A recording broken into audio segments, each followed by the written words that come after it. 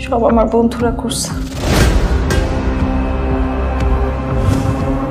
অনেক তো বললাম দেশি বিদেশি হাজার রকমের সিনেমা সিরিজের কথা। আজকের এই পর্ব বিশেষ। আপনি হয়তো গেম অফ থ্রোনস নার্কোসের পাড় ভক্ত। পাশের দেশের সেক্রেট গেমস অসুর, মির্জাপুর দেখলে আপনার আফসোসের সীমা থাকে না। মনে মনে হয়তো ভাবেন কবে আমাদের দেশে এমন কাজ হবে। তাহলে দর্শক, আপনার জন্য আমাদের আজকের এই ভিডিওটি, যেখানে আপনাকে জানাব বাংলাদেশের ওয়েব সিরিজ ইতিহাসের সবচেয়ে সাহসী প্রচেষ্টার কথা। সম্প্রতি বিঞ্জ নামে নতুন স্ট্রিমিং টিভি ডঙ্গল এসেছে বাংলাদেশে। তাদের নিজস্ব অরিজিনাল সিরিজ অগাস্ট চোদ্দ। পরিচালনা করেছেন শিহাব শাহিন আর অভিনয়ে ছিলেন তাসনুভা তিশা।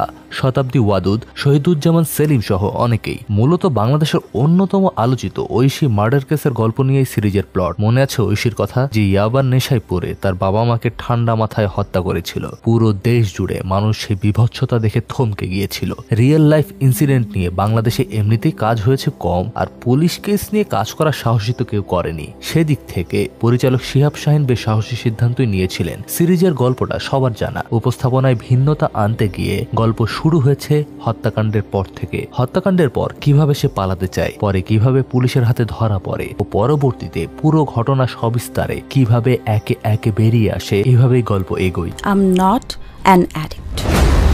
হাত ফুইতা গেছে তুমি কিছু টেরই পাও নাই। আমি পড়ি না। আট দশটা ক্রাইম কেসের প্লটই সিরিজ হিসেবে বিলো এভারেজের র্যাঙ্ক করা যায় কারণ গল্পে কখনো ঘটনার গভীরে যাওয়া হয়নি। মোটিভও স্ট্যাবলিশড না। বাংলাদেশের প্রেক্ষাপটে শ্যাবি ইনকোয়ারি আর ইনভেস্টিগেশন এক্সপেক্ট করলেও র ভাবে দেখাতে পারেনি বরং মনে হয়েছে নির্দেশনাতেই গলত জিমি গুলি করে দেবো!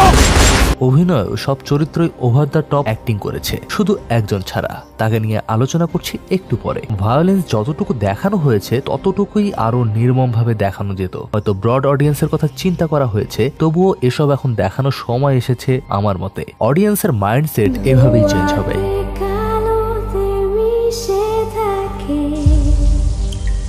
এখন প্রশ্ন হচ্ছে, বিলো অ্যাভারেজ শো হয়েও বোল্ড কেন অগাস্ট চোদ্দ? কারণ তাসনোবা তিশা। তিশার কোনো অ্যাক্টিং ট্রেনিং আছে কিনা জানা নেই, কিন্তু ওনার অভিনয় দেখে মনে হলো তিনি হাত পাখিয়েছেন ভালো মতোই। এমন একটি চরম ঘৃণ্য চরিত্র অনেক অভিনেত্রী করতে চাইবে না, তিশা করেছেন। এবং সেই চরিত্র ফোটানোর জন্য যেমন ভাষা, যেমন বডি ল্যাঙ্গুয়েজ আত্মস্থ করা প্রয়োজন, সেগুলো সবই করেছে। পৃথিবী জুড়ে যারা সিরিজ সিনেমা দেখেন, তারা জানেন চরিত্রদের বিলিভেবল করার জন্য নির্দেশকরা কত কাঠখড় পোড়ান। সব আমার বন্ধুরা করছে।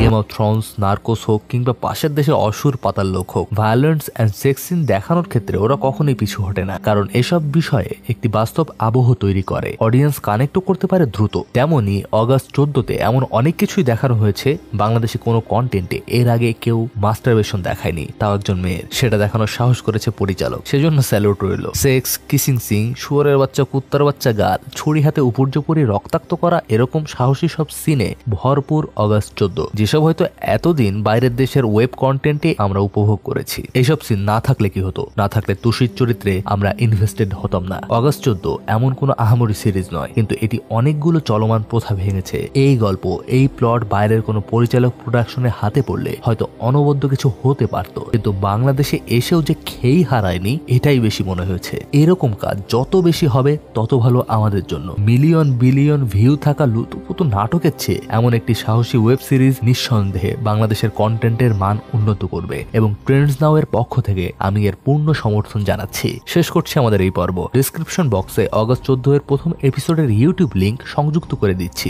দেখে নিতে পারেন সেখান থেকে। ভিডিওটি কেমন লাগল জানাতে ভুলবেন না। তাছাড়া এই ওয়েব সিরিজের ব্যাপারে আপনার মতামত কি সেটাও লিখুন কমেন্টস বক্সে ধন্যবাদ।